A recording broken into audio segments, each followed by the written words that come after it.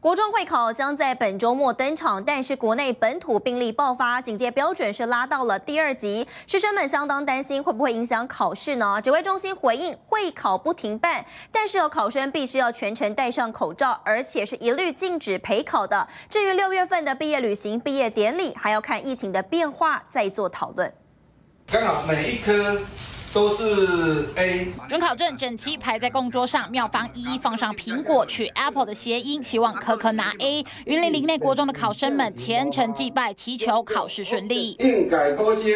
考运亨通，考试顺利。国中会考将在十五、十六号登场，全台有二十万两千多名学生报名。考区中以中投、新北、高雄的人数最多，但疫情升温，出现感染源不明的社区个案，警戒标准拉高到第二级，考生们也担心考试受到影响。会考不会停，啊，今天早上我们也在哈相关的单位也在研究过，那基本上还是照以前就不能陪考嘛。能有风险的，一风险的分级，哈，都在不同的教室。会考不停办，但防疫得高规格。大部分的考场五月十四号就会先进行大消毒，考生进场得量体温，考试期间全程佩戴口罩，而且一律禁止陪考。有市场。我们都有开放冷气啊，那所有的窗户哈，大概都会预留五到十公分的哈，保持这个室内空气的一个畅通。学生考试不管学科数科，延续先前规定，暂时没影响。但紧接着六月就是毕业季，毕旅跟毕点等活动还能办吗？